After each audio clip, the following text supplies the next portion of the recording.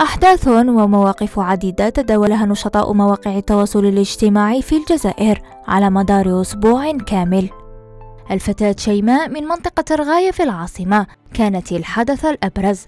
خبر قتلها لاقى صدى كبيرا وتناقلته وسائل الإعلام في الداخل والخارج. هاشتاغات كثيرة تطالب بالقصاص من الجاني. خبر حرق جثة فتاة في سطيف لاقى نصيبه من الاهتمام بين النشطاء الجزائريين على مواقع التواصل.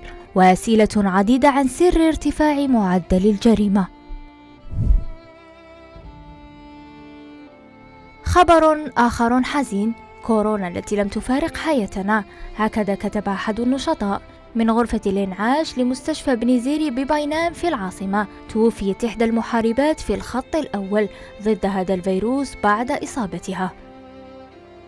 النساء بشكل خاص بدأنا الأسبوع بنشر وتبادل شعار تظاهرة أكتوبر الوردي من باب الترويج لضرورة الكشف المبكر عن سرطان الثدي.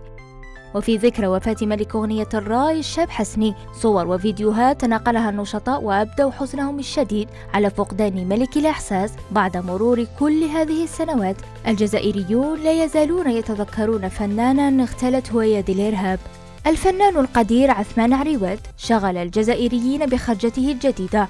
أحدث صورة له فجرت كما كبيرا من التعليقات والمشاركات. رجل مميز وطلة بهية تعيد مشهد صقمك اللي يفتح في الليل التي لا تنسى.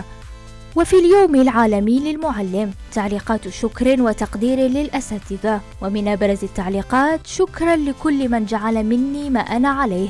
أساتذتي الأفاضل.